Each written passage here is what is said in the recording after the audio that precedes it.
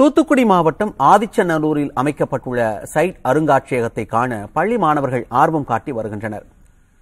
எடுத்த பொருட்களை எடுத்த இடத்திலேயே காட்சிப்படுத்தும் சைட் தொழில்நுட்பத்தை கொண்டு ஆதிச்சநல்லூர் அருங்காட்சியகம் உருவாக்கப்பட்டுள்ளது. இதை பார்வையிட வரும் பள்ளி கல்லூரி மாணவர்களின் எண்ணிக்கை நாளுக்கு நாள் அதிகரித்து வருகிறது. இந்நிலையில் அருங்காட்சியகத்தை பார்வையிட வந்த திருநெல்வேலியைச் சேர்ந்த தனியார் பள்ளி மாணாக்கர் அருங்காட்சியகம் குறித்த ஐயங்களை எழுத்தாளர் முத்தாலக்குறிச்சி காமராசுவிடம் கேட்டு தெளிவு பெற்றனர்.